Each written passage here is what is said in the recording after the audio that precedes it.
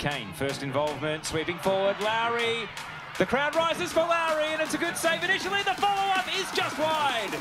Somehow it's stayed out of the back of the net. And Hannah Lowry can't believe it.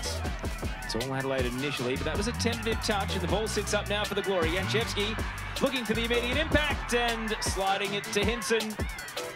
Grove was important. Full credit on that occasion to Grove for coming out and closing the angle down. Perth immediately back on the attack. Cutting to the right here. The shot saved by Grove. Really good save. The save from Annalee Grove was excellent once more. Janchevsky's free kick. Batted away. She did go direct and Grove was equal to it. They had some serious whip on it. Grove had to be alert to the fact and just parry that one over the crossbar. Great save once more from Grove.